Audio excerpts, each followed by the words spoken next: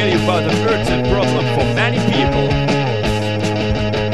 It goes something like this, you know the feeling when your eyes are melting.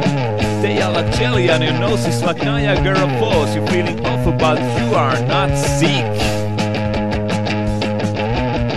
It comes always in spring or summer, depending on which plant is seeding.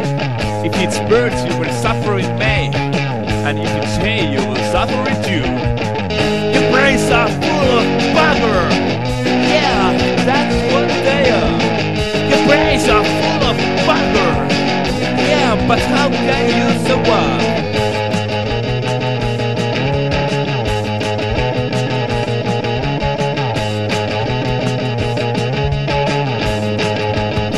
Well, uh, it's pollen allergy that gets you down. Very normal disease in the Western world. If summer is rainy, you don't have to worry.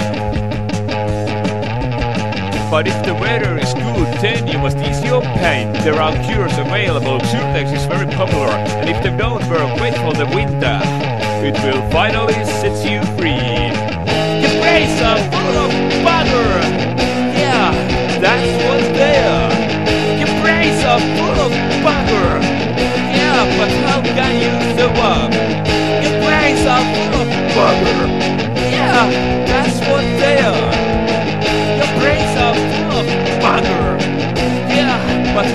Música